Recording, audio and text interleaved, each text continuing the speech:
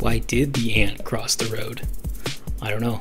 It didn't answer me when I asked, but it might be because it wanted to bring back a dead cockroach it found on the other side of the road. Being the kind, caring, and weird person that I am, I shared my only dead cockroach with my backyard ant hill. These ants appear to accept my gift, though I'm not sure if they're bringing it in for eating, for a nice decorative conversation piece, or they felt guilty and accepted my gift because I was staring right at them. I'll be on the lookout for any regifted cockroaches in my backyard bug social circles. I also gave them some stale crackers because it's probably good to have a balanced diet that isn't 100% cockroaches.